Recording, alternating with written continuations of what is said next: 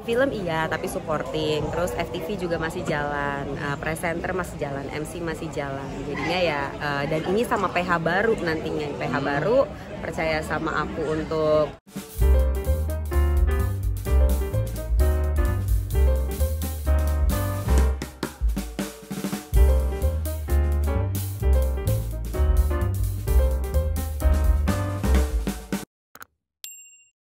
apa sih sibuknya apa sih?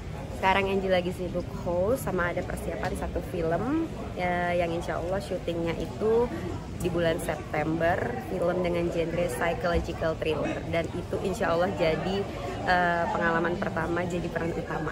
Oh gitu. Excited. Oh, emang selamanya pernah main film nggak sih selama ini? Main film iya, tapi supporting. Terus FTV juga masih jalan, uh, presenter masih jalan, MC masih jalan. Jadinya ya, uh, dan ini sama PH baru nantinya. PH Hmm. baru percaya sama aku untuk ngambil peran yang penting. Pemeran utamanya bareng sama Adinda Thomas, nama PH-nya Viewfinder. Apa tentang apa sih filmnya? Jadi filmnya psychological thriller bermain dengan psikologi karena kan uh, orang Indonesia tipenya sekarang lagi horor semua.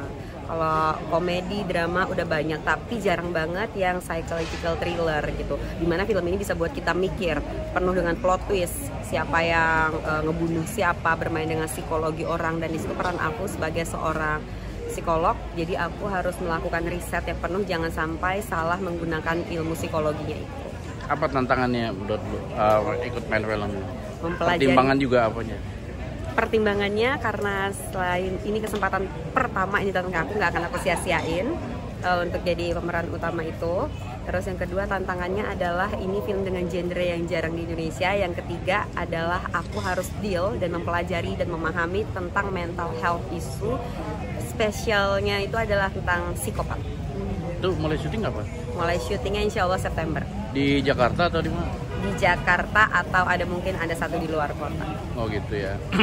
Ini jadi lo pertama kali dapat peran utama ya? Insya Allah akan menjadi uh, pertama kalinya aku pernah Oh, gitu. doain ya Uh, apa sih uh, keinginan lo? Emang mimpi apa jadi peran utama gimana?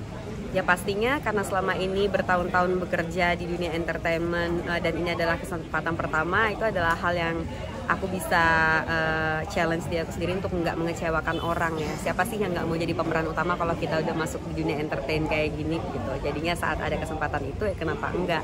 Tapi aku nggak boleh, aku challenge dia aku untuk nggak boleh gagal karena itu akan menjadi uh, keputusan untuk aku menghadapi dunia kerjaku ke depannya gitu. Oke, makasih.